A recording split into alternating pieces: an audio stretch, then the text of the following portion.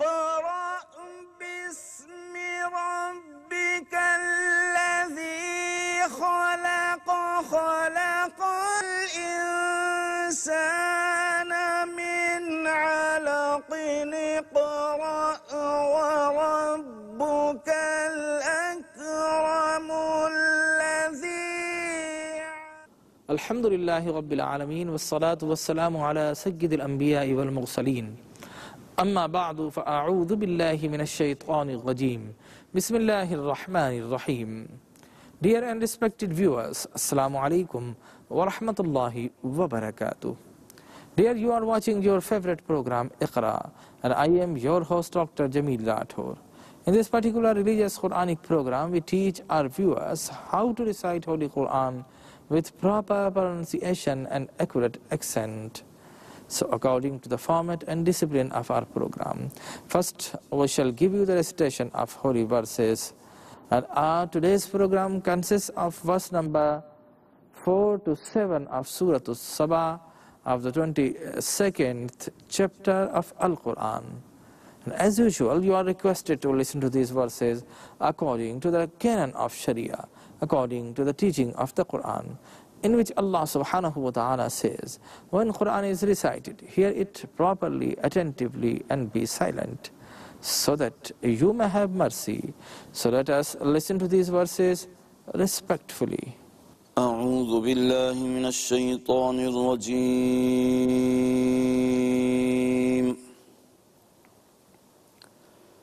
بسم الله الرحمن الرحيم.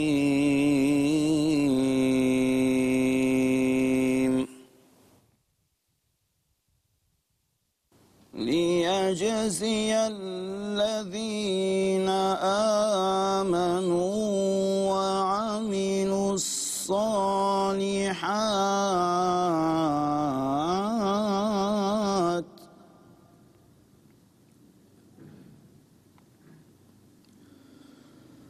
أولئك لهم مغفرة ورزق كريم.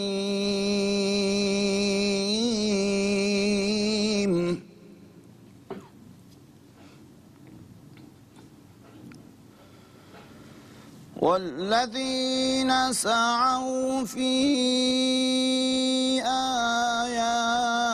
آياتنا معاجزين أولئك لهم عذاب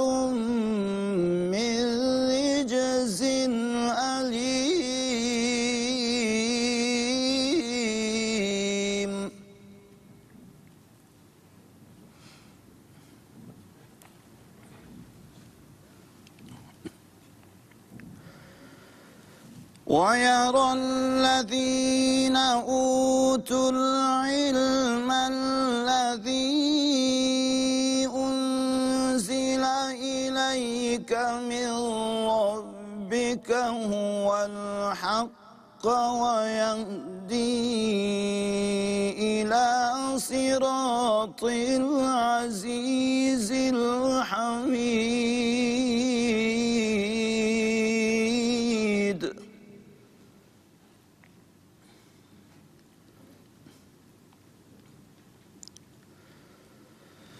وقال الذين كفروا هل ندلكم على رجل ينبئكم إذا مزقتم كل ممزق إنكم لفي خلق جديد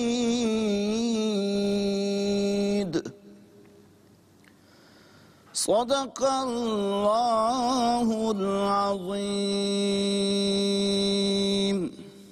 Dear viewers, we were listening the holy verses of Al-Quran and definitely we are feeling the grandeur and sweetness of Al-Quran.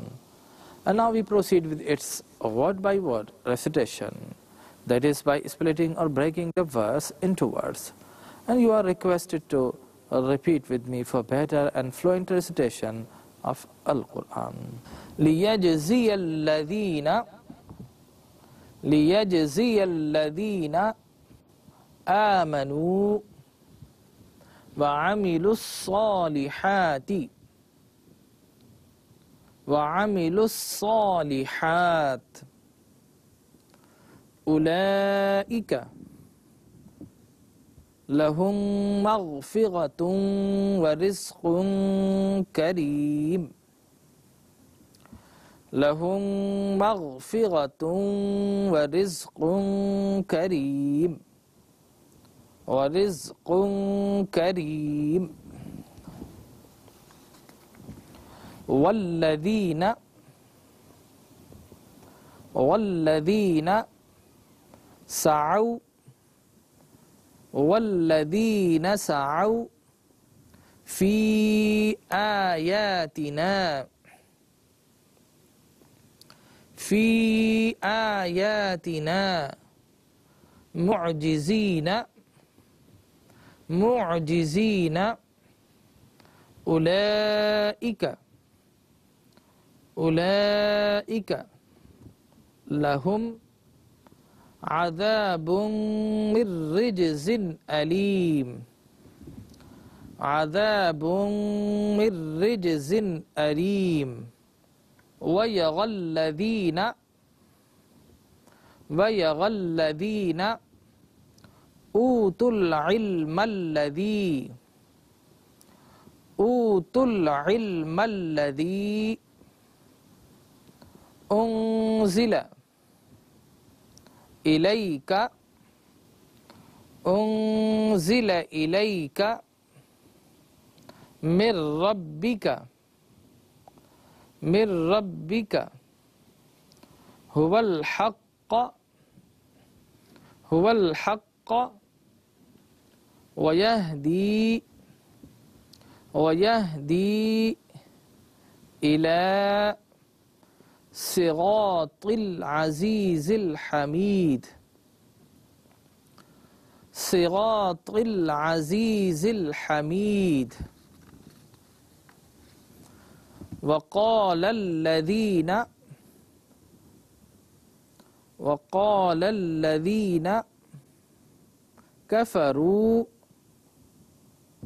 كفروا هل ندلكم؟ هل ندلكم على رجل ينبئكم؟ رجل ينبئكم. رجل ينبئكم إذا مزقتم. مزقتم كل كل ممزق ممزق إنكم لفي خلق جديد خلق جديد Dear viewers, the second segment of our program has completed. Now we come to the final and very, very important segment of our lesson because in which we give you this lesson in several types. First we recite verse by verse and these verses become prominent on your television screen in Arabic calligraphic. And then we translated or romanized these verses and particular for those viewers who are unfamiliar with Arabic alphabet as compared to English alphabet. And this exercise is followed by Urdu and English translation as well as in the end inshallah we also give you the brief explanation of these holy verses. So keep on watching this program and stay with us. ليجزي الذين آمنوا وعملوا الصالحات أولئك لهم مغفرة ورزق كريم.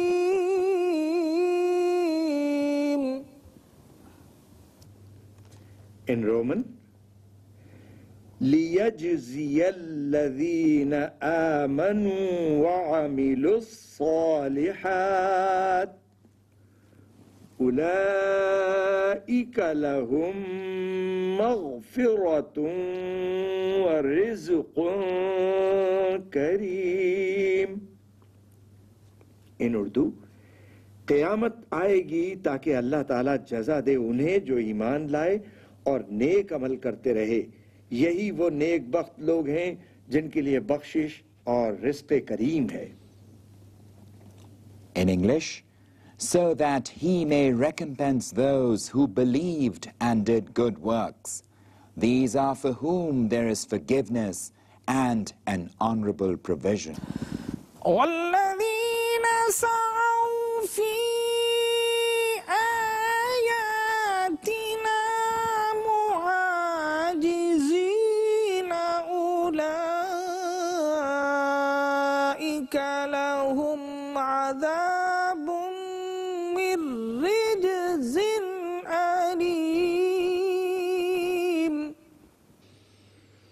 والذين سعوا في آياتنا معاجزين أولئك لهم أولئك لهم عذاب من رجز أليم in Urdu، اور جو بدبخت کوشش کرتے رہے ہیں کہ ہماری آیتوں کو جھٹلا کر ہمیں ہرا دیں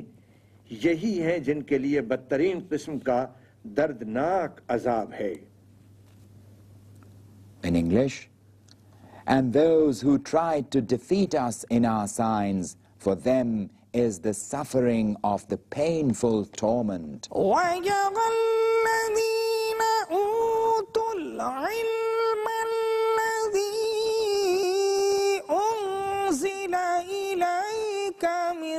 رَبِّ ربك هو الحق ويهدي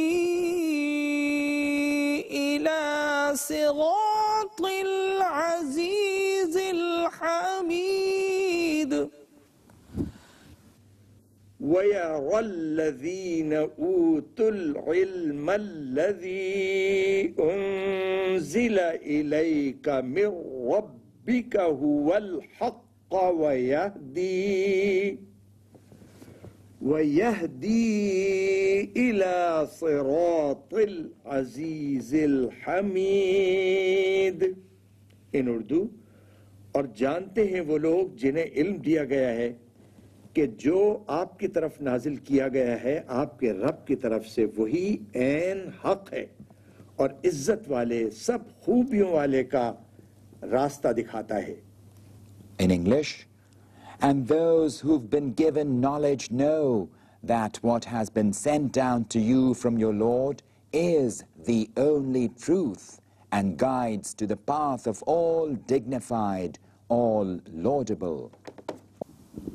وقال الذين كفروا هل ندلكم على رجل ينبئكم إذا مزقتم كل ممزق.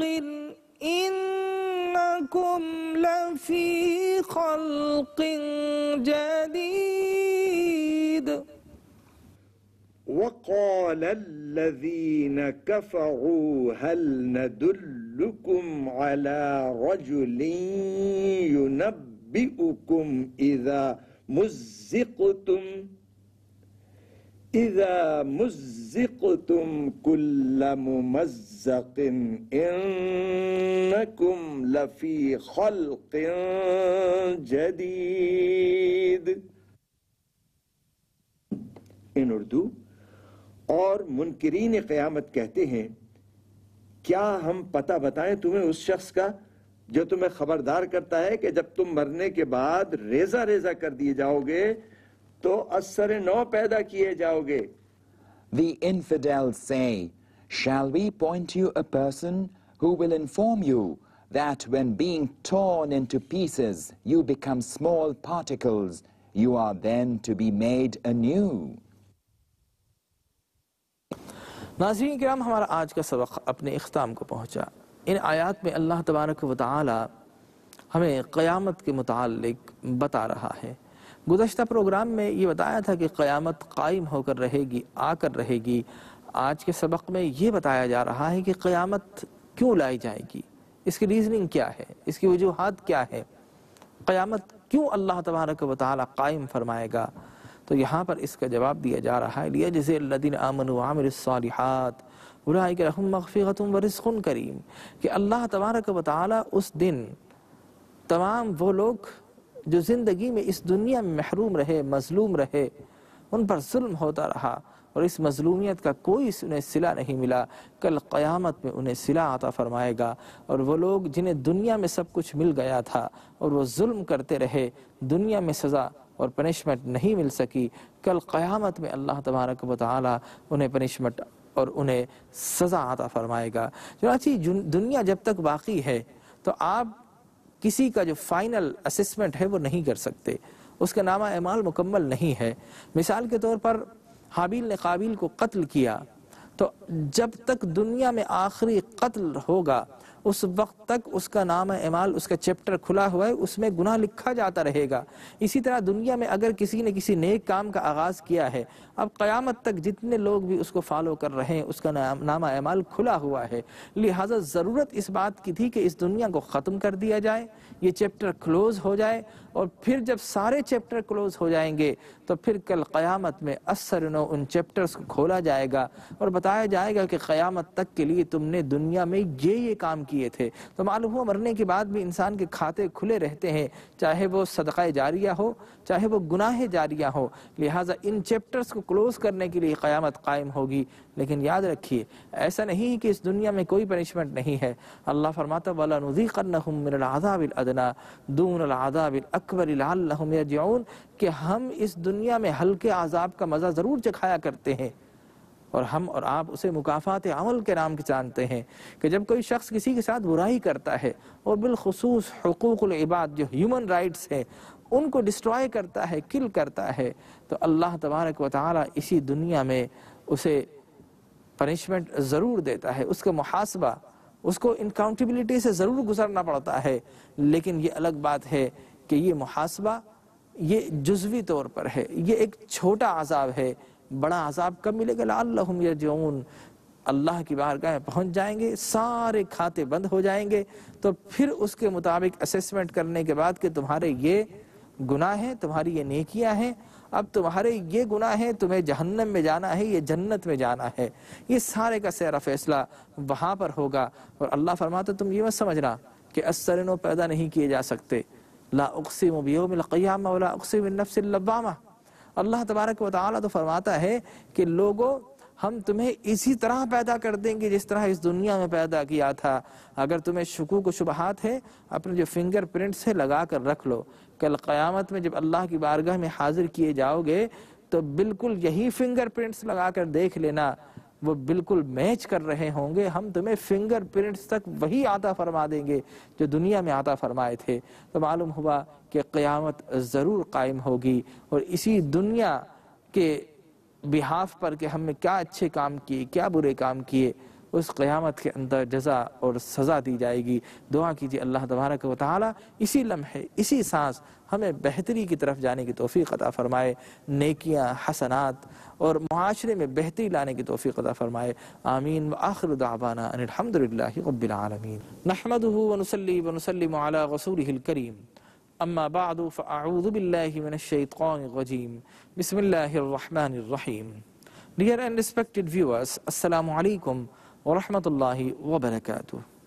Dear, I am your host Dr. Jamil Rathor and you are watching your favorite Quranic religious program Iqra in which we teach our viewers how to recite Holy Quran with proper pronunciation and accurate accent. So according to the format and discipline of our program, first we start our today's lesson which consists of verse number 8 to 10 of Surah Al-Sabah of the 22nd part of Al-Quran.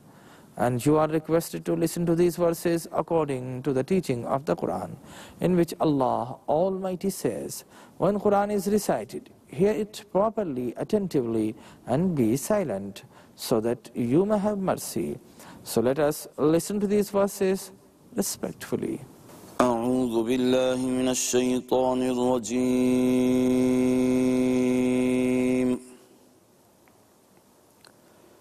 بسم الله الرحمن الرحيم.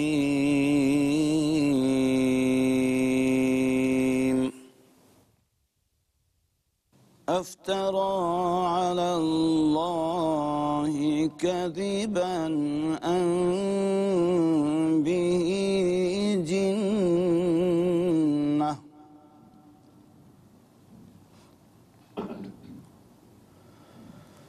بل الذين لا يؤمنون بالآخرة في العذاب والضلال البعيد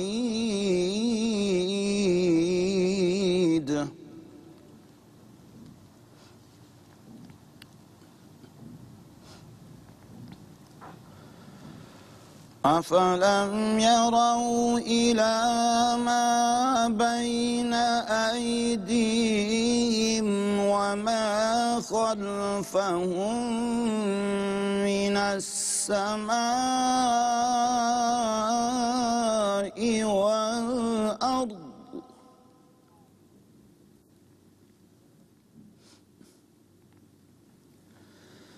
إن نشأ نخسف بهم الأرض أو نسقط عليهم كسفا من السماء.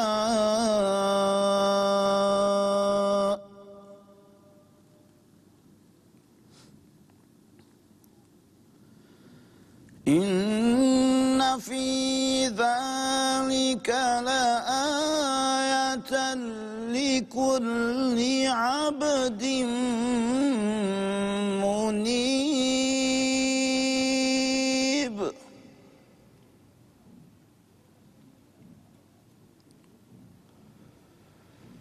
ولقد آتينا داود منا فضلا.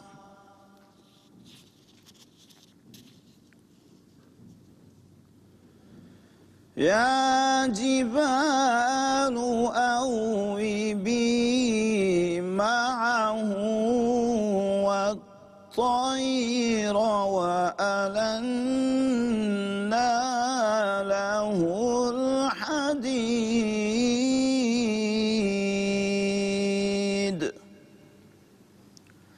صدق الله العظيم.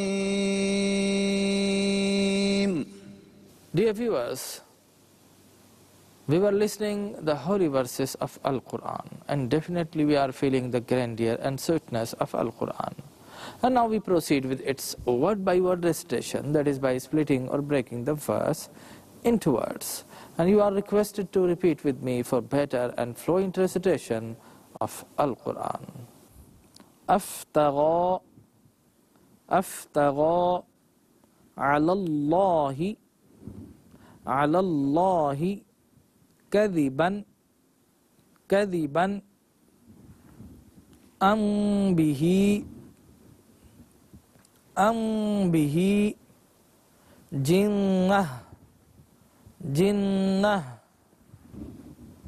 بل الذين بل الذين لا يؤمنون لا يؤمنون بالآخرة بالآخرة في العذاب والضلال البعيد والضلال البعيد. أفلم يروا أفلم يروا إلى ما بين إلى ما بين أيديهم أيديهم وما خلفهم من السماء وما خلفهم من السماء والأرض. إن نشأ إن نشأ نخسف.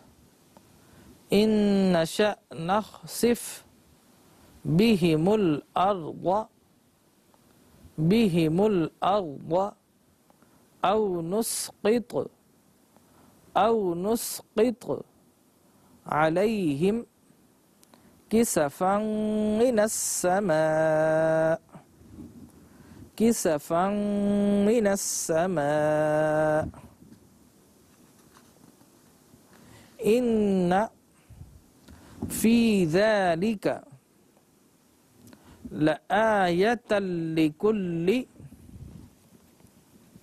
لآية لكل عبد منيب. عبد منيب. ولقد آتينا ولقد آتينا داوود داوود منا منا فضلا فضلا.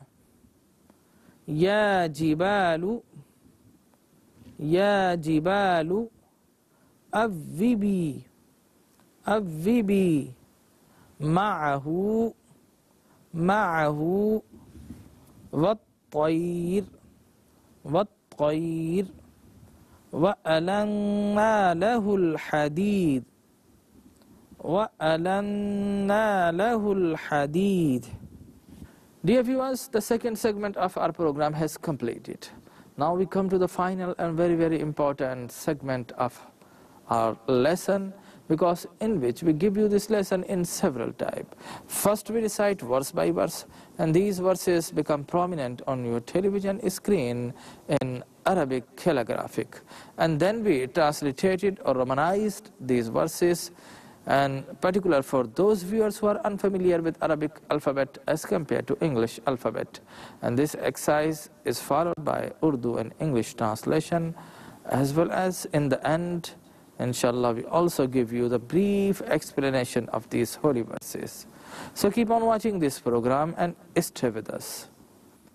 أفترى على الله كذبا أم به جنة بل الذين لا يؤمنون بالآخرة في العذاب والضلال البعيد. أفترى على الله كذبا أم به جنة؟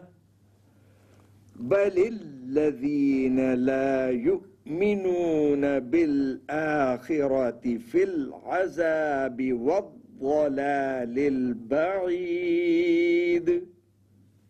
In Urdu، یا تو اس نے یہ کہہ کر اللہ تعالیٰ پر جھوٹ بہتان لگایا ہے، یا یہ دیوانہ ہے۔ میرا حبیب نہ جھوٹ بہتان لگاتا ہے، نہ دیوانہ ہے۔ بلکہ وہ جو آخرت پر یقین نہیں رکھتے، وہ کل عذاب میں اور آج دور کی گمراہی میں مبتلا ہیں۔ In English has he forged a lie against Allah, or is he afflicted with madness? Nay, but those who do not believe in the hereafter are in the torment and far gone error. أفلم يروا إلى ما بين أيديهم وما خلفهم من السماء والأرض إن نشأ نخسف بهم الأرض أو نسقط عليهم كسفا من السماء. In Roman, أفلم يروا إلى ما بين أيديهم وما خلفهم من السماء والأرض. إن نشأ نخسف بهم الأرض أو نسقط عليهم كسفا من السماء. کیا انہیں نظر نہیں آتا کہ انہیں آگے اور پیچھے سے آسمان اور زمین نے گھیر رکھا ہے؟ اگر ہم چاہیں تو دھسا دیں انہیں زمین میں یا گرا دیں ان پر چند ٹکڑے آسمان سے؟ English then not seen what is before them and what is behind them of the heaven and the earth if we sink we may earth. or cause a piece of the sky to fall upon them.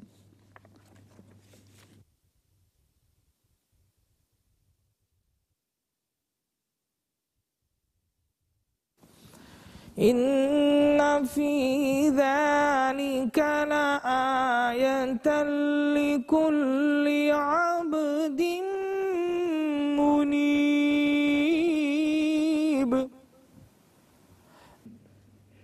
ان فی ذلک لآیتا لکل عبد منیب In Urdu در حقیقت اس میں کھلی نشانی ہے ہر اس بندے کے لیے جو اللہ کی طرف رجوع کرنے والا ہے In English, undoubtedly in it is a sign for every bondman repentant. ولقد آتينا داود منا فضلا يا جبال أوبي معه والطير وألنا له الحديد. In Roman ولقد آتينا داود منا فضلا يا جبال أوبي معه والطير وألنا له الحديد इन उर्दू बेशक हमने दाऊद को अपनी जनाब से बड़ी फजीलत बख्शी हमने हुक्म दिया ए पहाड़ों तस्बीह करो उसके साथ मिलकर और परिंदों को भी यही हुक्म दिया नीज हमने लोहे को उसके लिए नर्म कर दिया In English, and undoubtedly we gave to Dawood a great grace from us. O mountains, turn towards Allah with him, and O birds, and we made the iron soft for him.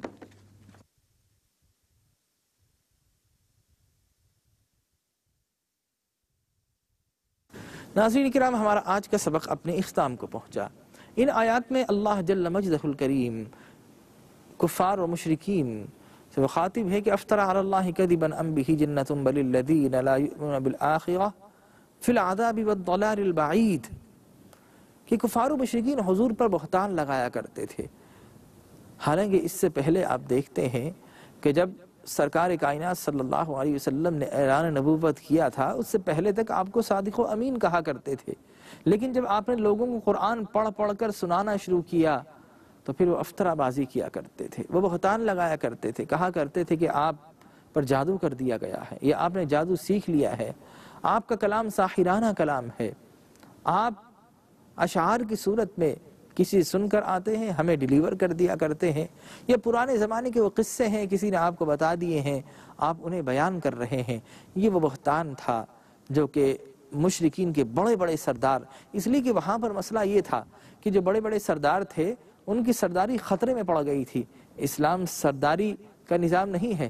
اسلام، ہمیں یہ نہیں سکھاتا کہ جناب ایک آدمی سردار بن جائے، سارے کی ساری اس کے رعایا بن جائے۔ نہیں جناب، اسلام تو آزادی کا مذہب ہے اسلام نے آ کر تو انسان کے گلے سے طوق غلامی نکال کر پھینک دیا۔ ورنہ اس سے پہلے تو جس جگہ چاہتے تھے، باقاعدہ غلاموں کے بازار لگا کرتے تھے۔ تو اسلام تو ان چیزوں کے خلاف تھا۔ لہذا ان کی سرداری، ان کی چودراہٹ جب خطرے میں پڑ گئی، تو پھر انہوں نے حضور اکرم صلی اللہ علیہ وسلم پر یہ بہتان لگانا شروع کیے کہ جناب آپ اس طرح کر رہے ہیں، یا تو یہ دیوانگی ہے، یا یہ جنون ہے۔ قرآن مجید فرقان حمید نے ہمیں بتایا کہ اللہ نے جواب دیا کہ نہیں، دیوانے، یہ نہیں، دیوانے تو تم ہو جو قیامت کا انکار کر رہے ہو۔ دیوانے تو تم ہو، تم جگہ جگہ پر گزرتے ہو، تمہارے قرب و جوار میں کھنڈرات موجود ہیں۔ ان کو کیوں نہیں دیکھتے کہ وہ ہستی بستی، بستیاں ہم نے کس طرح برباد کر دی کیوں برباد کی؟ اس لیے کہ انہوں نے بھی قیامت کا انکار کیا تھا۔ اللہ وحدہ لا شریک کا انکار کیا تھا۔ اللہ کے انبیاء کا انکار کیا تھا، تکذیب کی تھی، انہیں جھٹلایا تھا۔ انہوں نے بھی یہی الزام لگائے تھے تو تم قرب و جوار میں قوم سمود اور عاد اور مدین کے ان کھنڈرات کو کیوں نہیں دیکھ لیتے؟ تم سبا کے مقام پر جا کر ان جگہوں کو کیوں نہیں دیکھ لیتے؟ اور بات یہ تھی کہ ان سب نے دیکھا تھا، لیکن چونکہ ان کی حکمرانی، ان کی چودراہٹ اور ان کی جو وڈیرا ازم تھا، وہ خطرے میں پڑ رہا تھا، لہٰذا وہ انکار کیا کرتے تھے۔ اور پھر اللہ تبارک و تعالیٰ فرماتا ہے کہ انسان تو انکار کر رہا ہے، حالانکہ تو چاروں طرف سے گھرا ہوا ہے۔ زمین تیرے قدموں کے نیچے ہے، آسمان تیرے سر کے اوپر ہے۔ ہم جب چاہیں زمین اور آسمان کو الٹ پلٹ سکتے ہیں۔ ان دونوں کے درمیان تجھے چکی کے دو باٹوں کی طرح پیس سکتے ہیں، لیکن اس کے باوجود تو ان چیزوں کا انکار کرتا ہے۔ اور پھر اگلی آیات میں اللہ تبارک و تعالیٰ اپنے عظیم پیغمبر حضرت داؤد علیہ الصلاۃ و تسلیم کا تذکرہ فرما رہا ہے۔ چنانچہ انشاءاللہ آئندہ اسباق میں، lessons میں ہم ان فضیلتوں کو جو اللہ نے انبیاء کرام کو عطا فرمائی، ان کو پڑھیں گے، جانیں گے۔ دعا کیجیے اللہ تبارک و تعالی ہمیں صحیح معنوں میں رب کریم اپنی توحید پر قائم رہنے، اپنی وحدانیت کا اقرار ہمیشہ زبان سے جاری و ساری رکھنے، اور قیامت پر دل سے ایمان لانے یعنی ایمان بالآخرت پر اللہ ہمیں ثابت قدم رکھے آمین آخر دعوانا الحمدللہ رب العالمین الحمدللہ رب العالمین والصلاة والسلام على سید الانبیاء والمرسلین اما بعد فاعوذ باللہ من الشیطان الرجیم بسم اللہ الرحمن الرحیم Dear and respected viewers, Assalamu alaikum wa rahmatullahi wa barakatuh. Dear, you are watching your favorite program, Iqra, and I am your host, Dr. Jamil Rathore. In this particular religious Quranic program, we teach our viewers how to recite Holy Quran with proper pronunciation and accurate accent. So according to the format of our program, first we shall give you the recitation of holy verses. And our today's program consists of verse number 11 to 13 of Surah Al-Saba of the 22nd part of Al-Quran. And you are requested to listen to these verses according to the teaching of the Quran, in which Allah subhanahu wa ta'ala says, when Quran is recited, hear it properly, attentively, and be silent, so that you may have mercy. So let us listen to these verses respectfully. أعوذ بالله من الشيطان الرجيم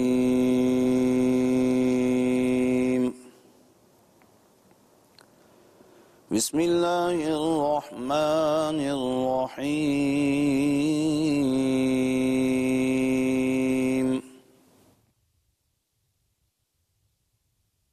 أن يعمل سابغات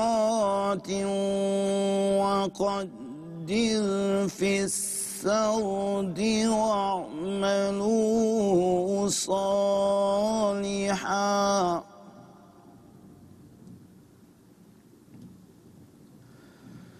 إني بما تعملون بصير.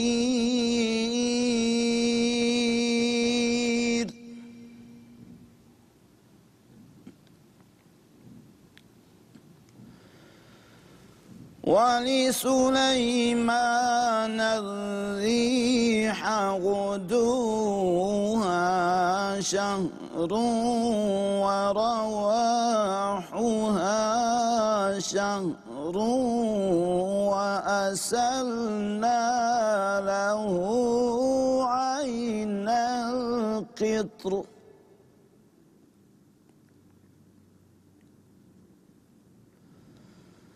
ومن الجن من يعمل بين يديه بإذن ربه. ربه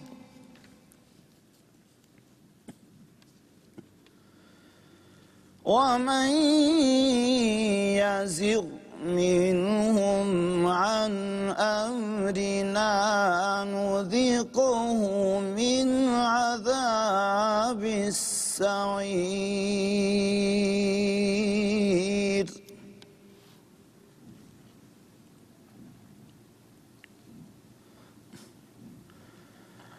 يعملون له ما يشاء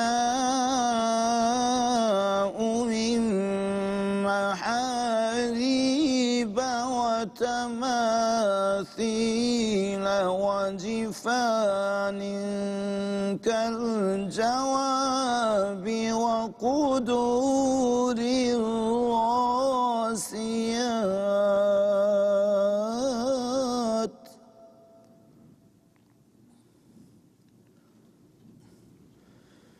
اعملوا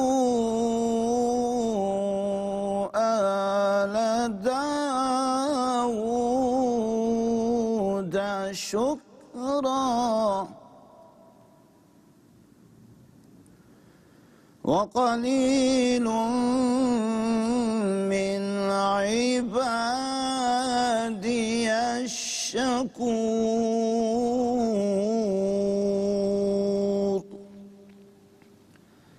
صدق الله العظيم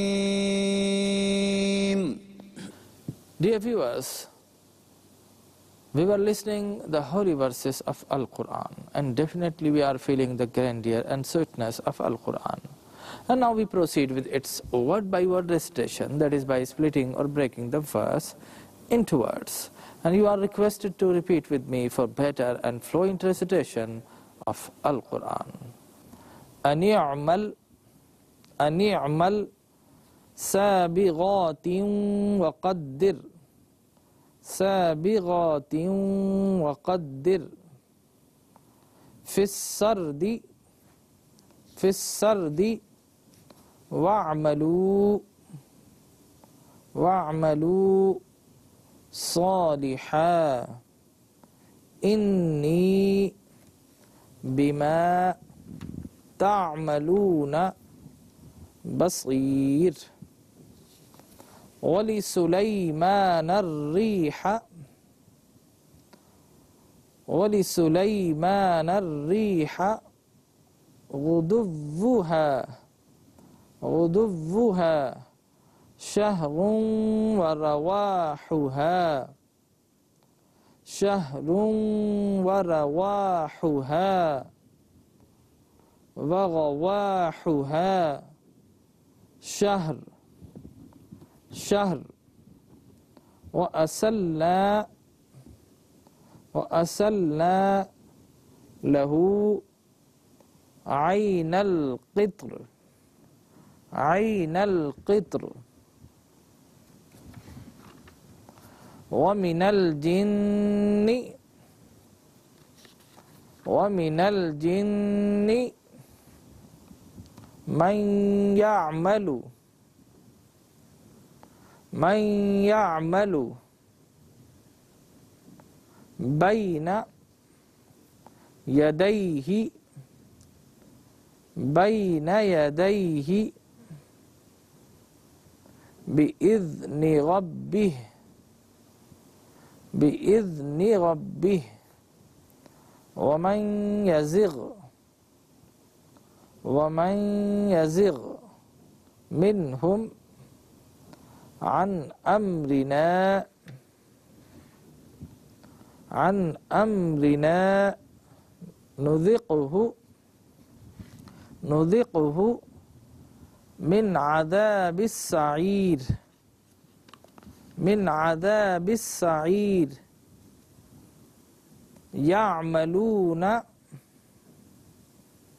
يعملون له ما يشاء ما يشاء من محاريب من محاريب وتماثيل وتماثيل وجفان كالجواب وجفان كالجواب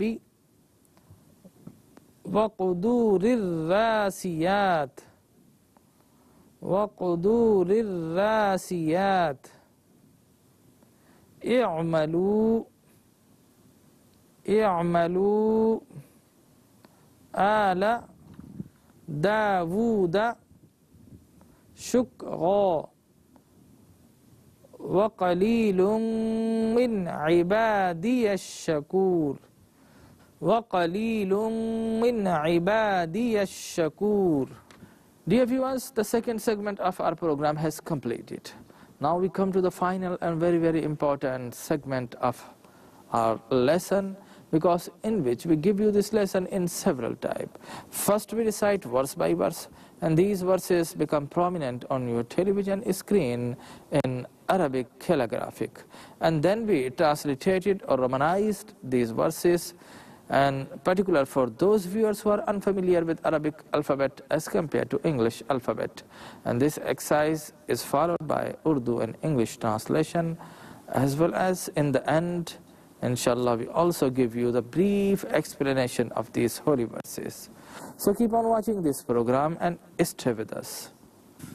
أن يعمل سابغات وقدر في السرد واعملوا صالحا إني بما تعملون بصير In Roman, أن اعمل سابغات وقدر في السرد واعملوا صالحا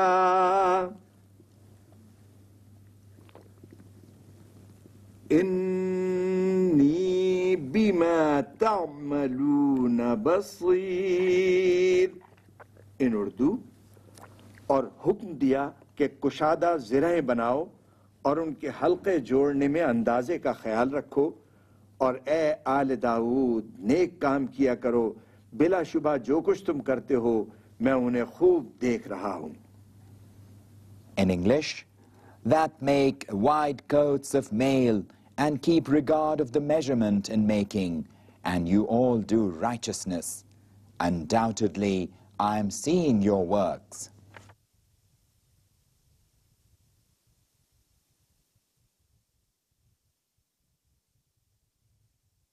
ولسليمان الريح غدوها شهر ورواحها شهر وأسلنا له عين القطر.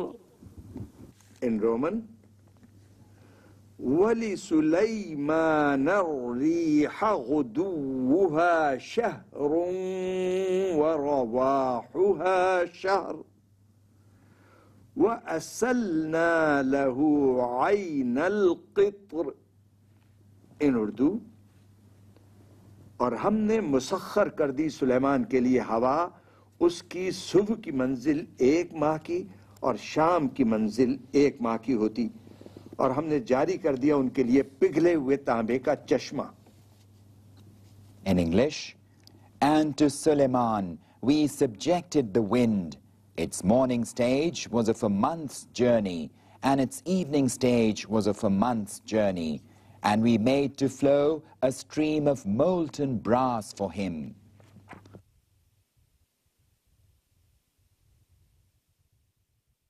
ومن الجن من يعمل بين يديه بإذن ربه ومن يزغ منهم عن أمرنا نذقه من عذاب السعير ومن الجن من يعمل بين يديه بإذن ربه ومن يزغ منهم عن أمرنا نذقه من عذاب السعير۔ In Urdu اور کئی جن ان کے تابع کر دیے جو کام میں جتے رہتے ان کے سامنے ان کے رب کے اذن سے۔ और जो सरताबी करता उनमें से हमारे हुक्म की तामील से तो हम उसे चखाते भड़कती हुई आग का अजाब in English, and of the jinns those who worked before him by the command of his Lord, and those of them who swerved from our commands, we would make them taste the torment of the blazing fire.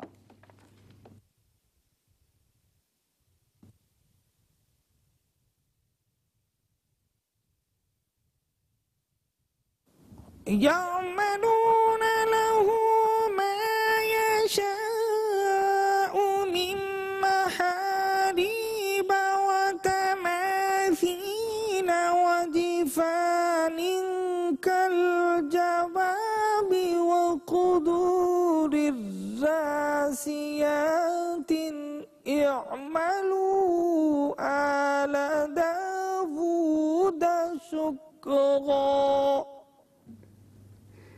يعملون له ما يشاء من محاريب وتماثيل وجفان. وجفان كالجواب وقدور الراسيات. اعملوا آل داود شكرا. In Urdu وہ بناتے آپ کے لیے جو آپ چاہتے پختہ عمارتیں مجسمے بڑے بڑے لگن جیسے حوض اور بھاری دیگیں جو چولہوں پر جمی رہتی اے داؤد کے خاندان والوں ان نعمتوں پر شکر ادا کرو۔ In English, they made for him what he desired, lofty palaces and statues and troughs of the size of big tanks, and anchored cauldrons. O members of the family of Dawood, give thanks. وقليل من عبادي الشكور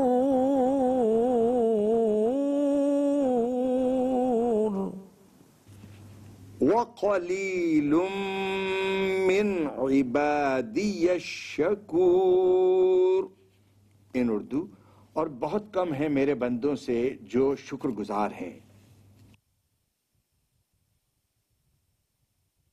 In English and they are few in my bondmen that are thankful ناظرین کرام ہمارا آج کا سبق اپنے اختتام کو پہنچا۔ ان آیات میں اللہ تبارک و تعالی جل شانہ و عم نوالہ اپنے دو عظیم انبیاء کرام رسول عزام علیہ السلام و تسلیم کی فضیلتوں کا ذکر فرما رہا ہے کہ داؤد علیہ السلام لقد آتینا داؤد منا فضلا یا جبال اوی بما هو الطیر والنا له الحدید کہ ہم نے داؤد کو عظیم الشان معجزات عطا فرمائے ایک تو معجزہ یہ تھا کہ جب اللہ کی تسبیح و تہلیل کیا کرتے تھے، تو ان کے ساتھ پہاڑ بھی اور اڑتے ہوئے پرندے بھی شامل ہو جایا کرتے تھے اور ان کی آواز میں آواز ملا کر اللہ تبارک و تعالیٰ کا ذکر کیا کرتے تھے۔ اور لحن داودی کتنا مشہور ہے۔ حضرت داؤد علیہ السلام کو اللہ نے ایسا لحن، ایسی آواز عطا فرمائی تھی کہ آج اگر کسی کی آواز اچھی ہوتی ہے تو ہم کہتے ہیں لحن داودی اللہ نے تمہیں عطا فرمائی ہے۔ تو ان کی اتنی خوبصورت آواز میں وہ زبور کو تلاوت کیا کرتے تھے کہ جتنے بھی لوگ ہیں، نہ صرف انسان بلکہ قرب و جوار کے جو پرندے ہوتے تھے، وہ بھی مدہوش آ کر اس کلام کو سنا کرتے تھے۔ حتیٰ کہ جو پہاڑ درخت ہوا کرتے تھے، وہ بھی مستی میں جھوم جایا کرتے تھے۔ اب شیطان نے یہ دیکھا کہ جناب کوئی بھی میری بات سننے کو تیار نہیں ہے، سارے کے سارے قرآن سن رہے ہیں۔ تو اس نے بہت سے مکر و فریب اور دجل و فریب کی کہانیاں لوگوں کو سنانا شروع کی۔ لوگوں کو قصے سنایا کرتا تھا، جھوٹ اور سچے ملا کر ڈرامے کیا کرتا تھا۔ لیکن جیسے ہی داؤد علیہ السلام تلاوت شروع کرتے تھے، لوگ پھر ان کی طرف بھاگ جایا کرتے تھے۔ تو شیطان نے سوچا کہ اب کیا کیا جائے؟ یہ کس طریقہ سے ان کو روکا جائے؟ یہ تو سارے کے سارے دیوانے اور پروانے ہیں۔ چنانچہ اس نے پھر یہ تدبیر کی کہ اس نے ڈھول، باجے اور بانسری ایجاد کی، اس نے وہ بنائی۔ اور وہ بجانا شروع کر دیا کرتا تھا تاکہ داؤد علیہ السلام کی قرأت کی اور تلاوت کی آواز ان لوگوں کے کانوں تک نہ پہنچے۔ تو معلوم ہوا کہ جتنے بھی musical instruments ہیں، یہ حقیقت میں حق کو روکنے کے لیے ہوا کرتے ہیں۔ لہٰذا ہمیں جب بھی چاہیے کہ ہم قرآن پڑھیں یا نعت رسول پڑھیں، تو ان میں یہ musical instrument شامل نہیں کرنے چاہیے۔ اس لیے کہ یہ شیطان کی ایجاد ہے۔ اور قرآن کو دبانے کے لیے اس نے ایسا کیا تھا۔ لہٰذا آج ایک طرف اللہ رسول کا ذکر ہو اور دوسری طرف تو یہی میوزک اور باجے شامل ہو جائیں تو پھر خیر حاصل نہیں ہوا کرتی۔ لہٰذا سب سے پہلے ہمیں ان چیزوں کو دیکھنا چاہیے کہ جو خالص ہے اس کو خالص رکھیں۔ اس میں کسی چیز کی ملاوٹ شامل نہ کریں۔ چنانچہ داؤد علیہ السلام کے ان معجزات کے ذریعے ہمیں پتہ چل رہا ہے کہ اللہ نے انہیں کتنی عزیمت اور عظمت عطا فرمائی اور اس کے ساتھ ساتھ انہیں ایک معجزہ یہ بھی عطا فرمایا کہ وہ جب کسی لوہے پر ہاتھ لگایا کرتے تھے تو وہ لوہا ان کے ہاتھ کے لگنے سے نرم ہو جایا کرتا تھا۔ حالانکہ لوہے کو ہم بھٹی میں ڈالتے ہیں، پکاتے ہیں، جلاتے ہیں تب کہیں جا کر وہ نرم ہوا کرتا ہے۔ لیکن اللہ کے نبی کے ہاتھ میں یہ طاقت تھی کہ ادھر لوہے کو ہاتھ لگایا کرتے تھے اور ادھر وہ بالکل نرم پڑ جایا کرتا تھا۔ یہ داؤد علیہ السلام کی فضائل ہیں جو ان آیات میں بیان کیے گئے اور سلیمان علیہ السلام کے قصے مذکور ہیں۔ دعا کیجیے اللہ تبارک و تعالی ان قصائص سے ہمیں پند و نسائے کے ساتھ نصیحتیں ایڈوائسز حاصل کرنے کی توفیق عطا فرمائے۔ آمین۔ و آخر دعوانا الحمدللہ رب العالمین۔ نحمده ونسلي ونسلم على رسوله الكریم أما بعد فأعوذ بالله من الشيطان الرجيم بسم الله الرحمن الرحيم Dear and respected viewers, Assalamu alaikum wa rahmatullahi wa barakatuh. Dear, you are watching your favorite program Iqra and I am your host Dr. Jamil Rathor. In this particular religious Quranic program, we teach our viewers how to recite Holy Quran with proper pronunciation and accurate accent. So according to the format and discipline of our program, first we shall give you the recitation of holy verses. And our today's program consists of verse number 14 to 16 of Surah As-Saba of the 20, 22nd part of Al-Quran. And you are requested to listen to these verses according to the teaching of the Quran in which Allah subhanahu wa ta'ala says, when Quran is recited, hear it properly, attentively and be silent so that you may have mercy. So let us listen to these verses respectfully. أعوذ بالله من الشيطان الرجيم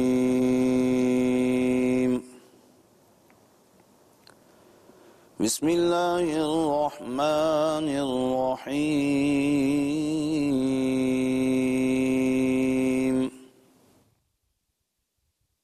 فلما قضينا عليه الموت ما دلهم على موته إلا دابة الأرض تأكل من سأته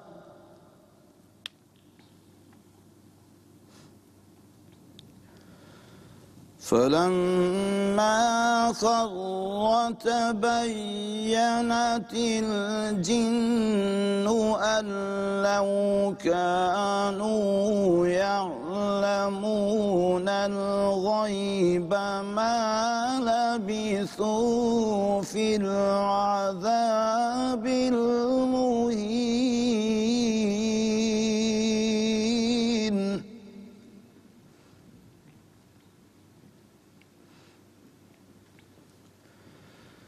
لقد كان لسبإ في مسكنهم آية جنتان عن يمين وشمال.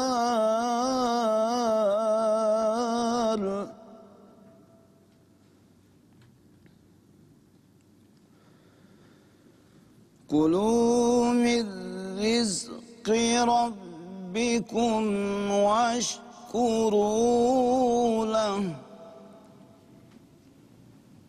بلدة طيبة ورب غفور.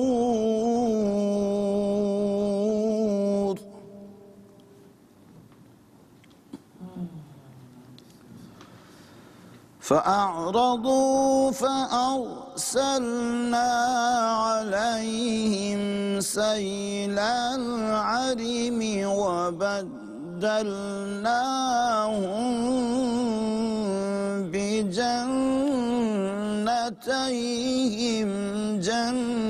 جنتين ذواتي أكل خمط وأثل وشيء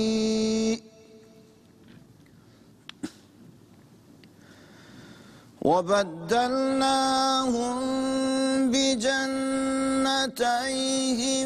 جنتين ذواتي أكل خمط وأثل وشيء من سدر.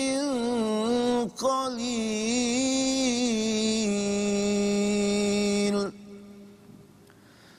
صدق الله العظيم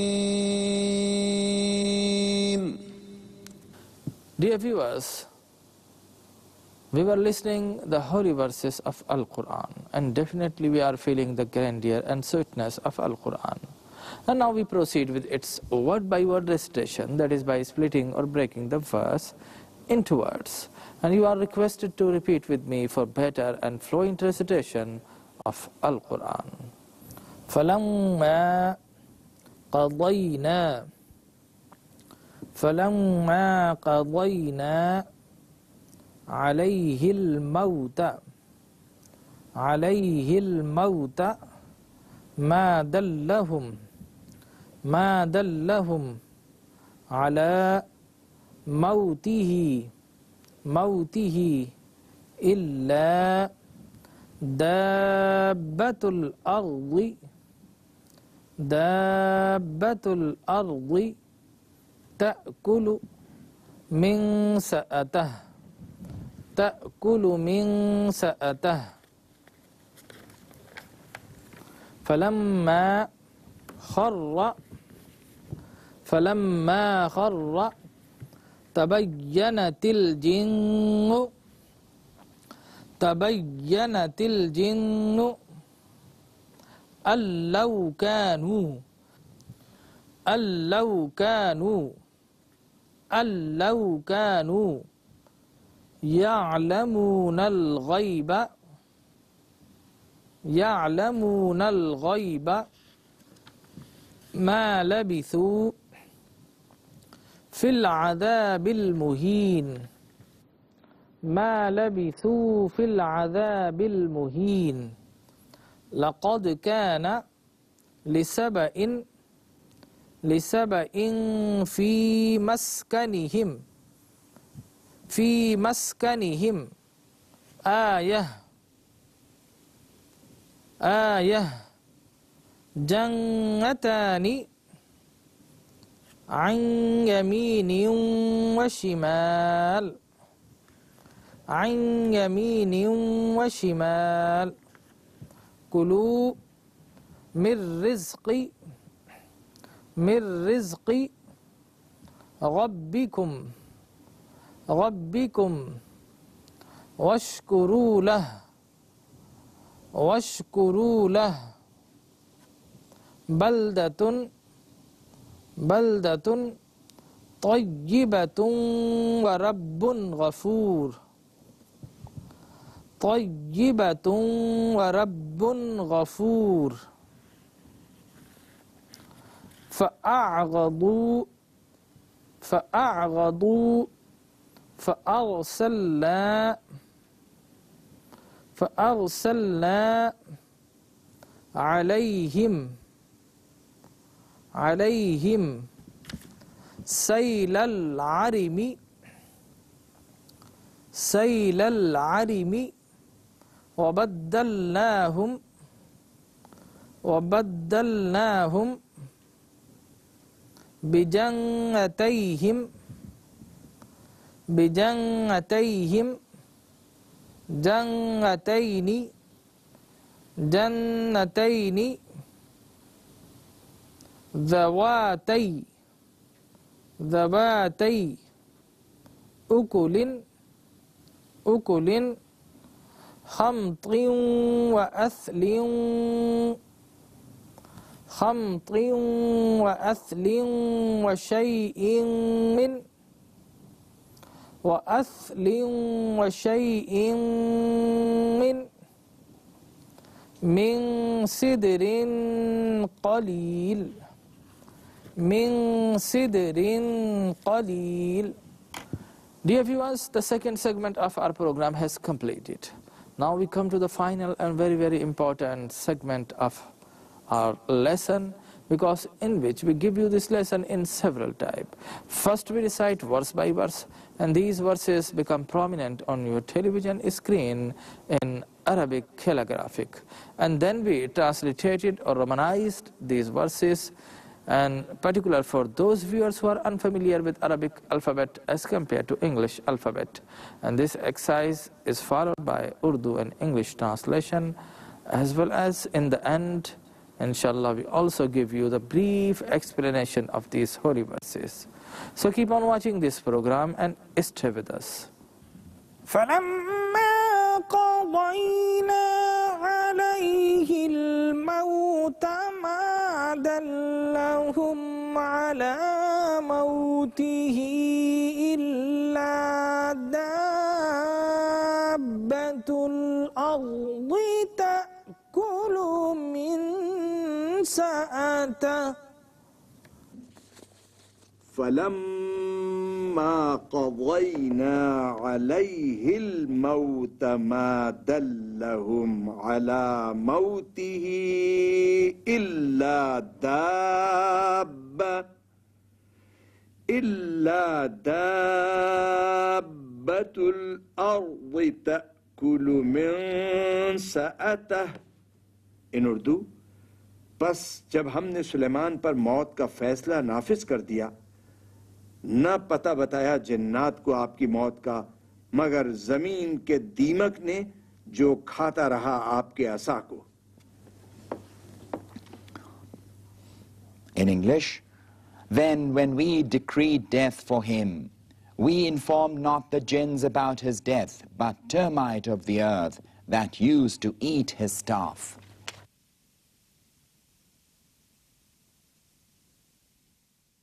فَلَمَّا خر تبينت الجن أن لو كانوا يعلمون الغيب ما لبثوا في العذاب المهين. فلما خر زينت الجن أن لو كانوا يعلمون الغيب ما لبثوا ما لبثوا في العذاب المهين۔ ان اردو پس جب آپ زمین پر آ رہے تو جنوں پر یہ بات کھل گئی کہ اگر وہ غیب کو جانتے ہوتے तो इतना अरसा न रहते इस रुसवा कुन अजाब में In English, so when he came down on earth, the reality of the jinns was known. If they had known the unseen, they would not have been in this degrading torment.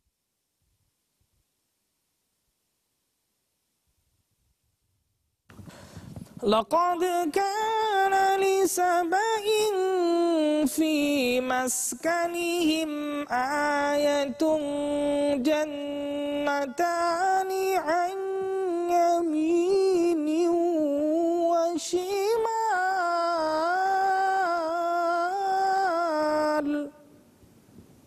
In Roman, لقد كان لسبأ في مسكنهم آية جنتان عن يمين وشمال in Urdu، قوم سبا کے لیے ان کے اپنے مسکن میں ہی نشانی موجود تھی۔ وہاں دو باغ تھے، ایک دائیں طرف اور دوسرا بائیں طرف۔ In English, undoubtedly for Saba there was a sign in their own dwelling place, two gardens in the right and on the left. كلوا من رزق ربكم واشكروا له بلدة طيبة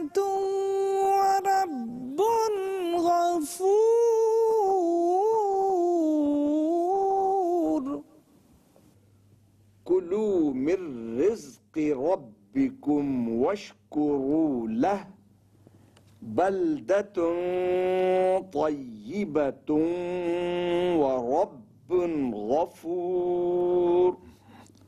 in Urdu کھاؤ اپنے رب کا دیا ہوا رزق اور اس کا شکر ادا کرو۔ اتنا پاکیزہ شہر اور ایسا رب غفور۔ ان انگلش ایٹ یو آف دا پروویژن آف یور لارڈ and render thanks to him, a clean city and a forgiving Lord. فأعرضوا فأرسلنا عليهم سيل العرم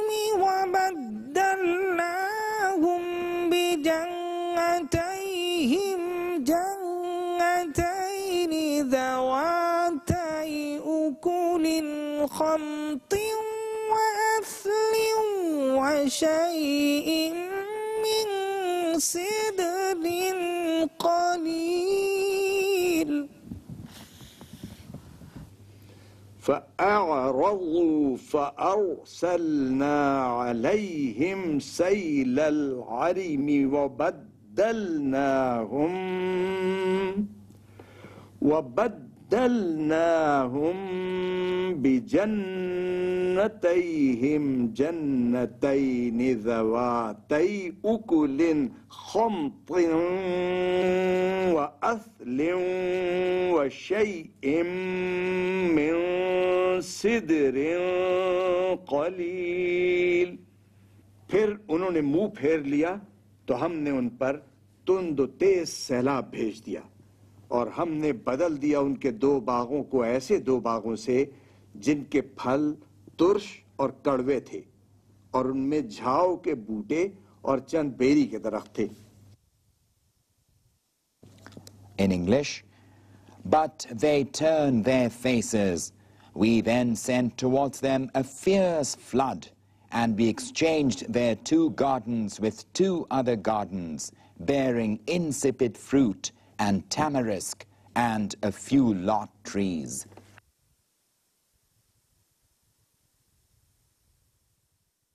ناظرین کرام، ہمارا آج کا سبق اپنے اختتام کو پہنچا ان آیات میں اللہ تبارک و تعالی حضرت داؤد و سلیمان علیہ السلام کے قصائص کو بیان فرما رہا ہے کہ سلیمان علیہ السلام کتاب اللہ نے ان ہواؤں کے نظام کو کر دیا اور آپ جانتے ہیں کہ ہوا ہی نظم کائنات کو چلا رہی ہے ہوا ہی ہے جو بادلوں کو ہنکاتی ہے، بادلوں کو ایک جگہ سے دوسری جگہ تک کھینچ کر لے جاتی ہے۔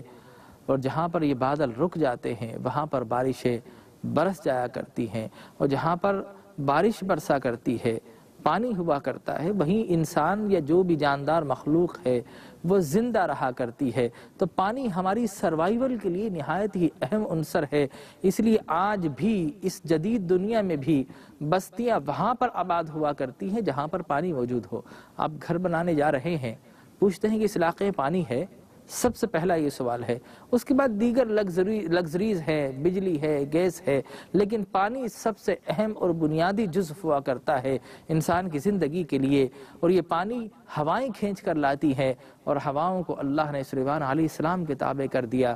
تو گویا ایک طریقے سے اللہ نے پوری کائنات کا تصرف حضرت سلیمان علیہ السلام کو عطا فرمایا۔ اور پھر ہمیں یہ بتایا گیا ان آیات میں کہ حضرت سلیمان علیہ السلام جنات کے ذریعے بیت المقدس کو تعمیر کروا رہے تھے۔ بیت المقدس جب اپنے تعمیر کے اختتام تک پہنچ رہا تھا، اللہ تبارک و تعالیٰ کے حکم سے سلیمان علیہ السلام پر موت طاری کر دی گئی، ان کی وفات شریف ہو گئی۔ لیکن سلیمان علیہ السلام ایک لاٹھی کے سہارے کھڑے ہو کر گھنٹوں تک اس مناظر کو دیکھا کرتے تھے، inspection کیا کرتے تھے، اور اس کے ساتھ ساتھ مہینوں تک اللہ کی عبادت بھی کیا کرتے تھے۔ اب جنات تعمیر میں مشغول ہیں۔ سلیمان علیہ السلام کی وفات ہو گئی، جس لاٹھی کے سہارے پر وہ کھڑے تھے، اسی لاٹھی کے سہارے پر وہ کھڑے رہے۔ یہاں تک کہ ایک سال گزر گیا اور وہ لاٹھی جس کے سہارے پر آپ کھڑے تھے، اس کو دیمک چاٹ گئی، وہ لکڑی ٹوٹ گئی اور آپ زمین پر آرام فرما ہوئے۔ اور پھر جنات کو معلوم ہوا کہ سلیمان علیہ السلام کی تو وفات ہو گئی ہے۔ پھر انہوں نے کہا کاش اگر ہم غیب کا علم جانتے۔ تو ہم یہ اتنی مشقت کیوں اٹھاتے؟ اتنی ہزیمت کیوں برداشت کرتے؟ فلما قضينا عليه الموت ما دلهم على موته إلا دابة الأرض تأكل منسأته فلما خر تبينت الجن أن لو كانوا يعلمون الغيب ما لبثوا في العذاب المهين کہ ہم اس عذاب میں کیوں مبتلا ہوتے؟ تو معلوم ہوا کہ جب اللہ کے انبیاء کی وفات ہو جایا کرتی ہے لکڑیاں گل جایا کرتی ہیں، سڑ جایا کرتی ہے لیکن نبی کے جسم سال کے بعد بھی تر و تازہ اور زندہ ہوا کرتے ہیں۔ تو یہ حیات النبی کی ایک بہترین اور عمدہ قرآنی مثال ہے، جس کے ذریعے بتایا گیا کہ عام انسان ہو، لکڑیاں ہو، غیر جاندار چیز بھی ہو، وقت کے ساتھ ساتھ موسمی تغیرات کے ساتھ انہیں حادث اور انہیں زوال آ جایا کرتا ہے۔ لیکن اللہ کے انبیاء ان کے اجسام، ان کے نفوس ایسے ہوا کرتے ہیں کہ سال گزر گیا ہے۔